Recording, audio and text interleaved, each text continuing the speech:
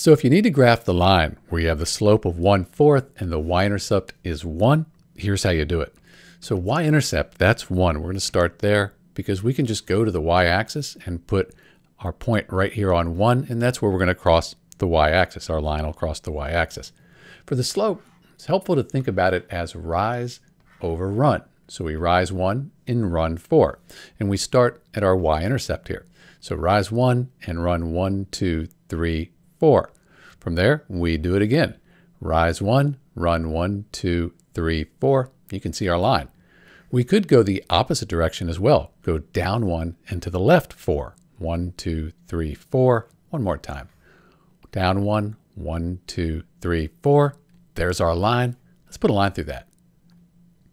Then we'll put arrows to show this goes to infinity. And this is the graph of the line we get when we have a slope of 1 fourth and a y-intercept of 1. If you wanted to write the equation, b, that's the y-intercept, that's just 1. m is the slope, which is 1 fourth.